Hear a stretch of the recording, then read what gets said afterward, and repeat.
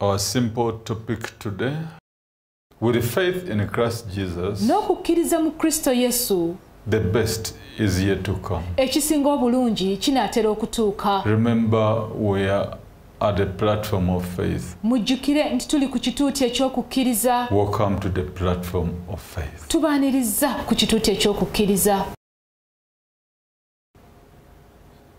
It is too early bukyali nnyo for you to condemn yourself, gwe okwesalira omusango. Too early to determine bukyali nnyo gwe okusalawo what will become of you, ky'onoofuuka.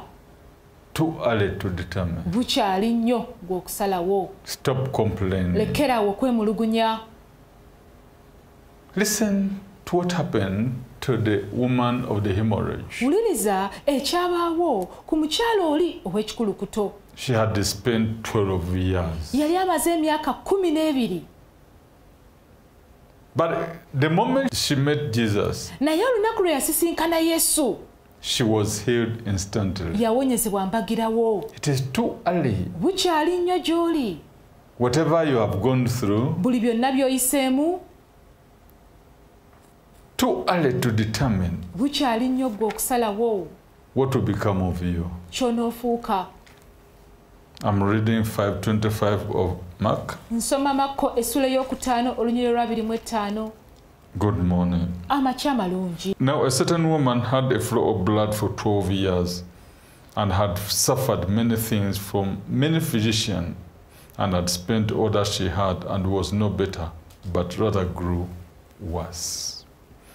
When she heard about Jesus, she came behind him in the crowd and touched his garment, for she said, If only I may touch his clothes, I shall be made well. Immediately the fountain of her blood was dried up, and she felt in her body that she was healed of the affliction. To God be the glory. ekitiibwa kiddeeri katonda No matter the situation, nga tofuddeeyo ku mbeera gy'oyitamu. With the faith in Christ Jesus, n'okukkiriza mu kristo yesu. it is too early bukyali to nnyo condemn yourself, okwesalira omusango. To determine gwe okusalawo your tomorrow. olunaku lwo olw'enkya. With Christ Jesus, ne kristo yesu I promise you, nkusuubiza.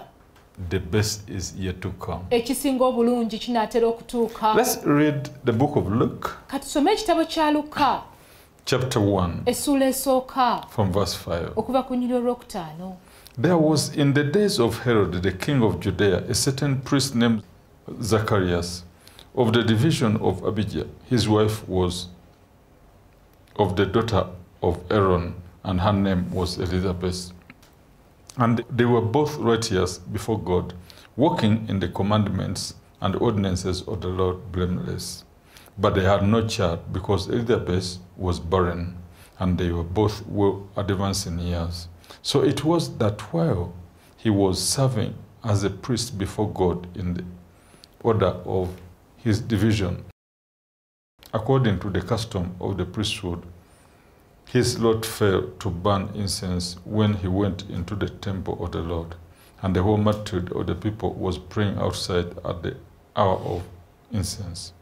Then an angel of the Lord appeared to him standing on the right side of the altar of incense. And when Zacharias saw him, he was troubled, and fear fell upon him. But the angel said to him, Do not be afraid, Zacchaeus, for your prayer is heard, and your wife Elizabeth will bear you a son, and you shall call his name John. And you will have joy and gladness, and many will rejoice at his birth.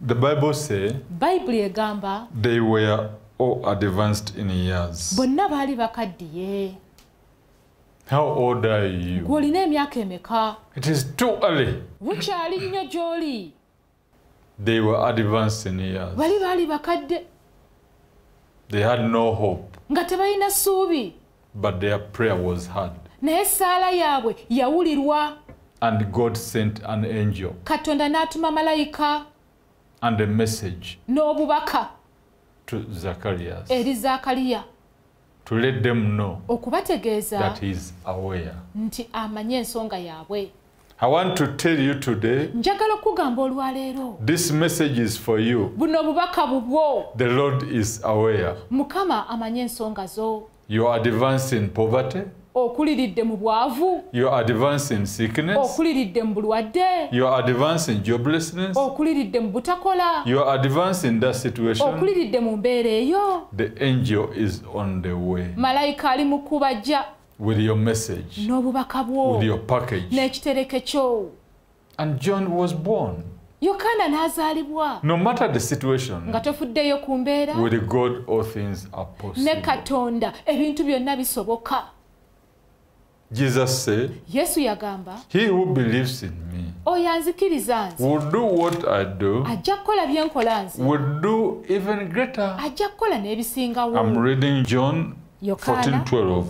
yokaana essula y'ekkumi n'ennyonyolo ekkumi n'ebbiri Most assuredly I said to you, he who believes in me, the works that I do, he will do also, and the greater works than these he will do, because I go to my Father.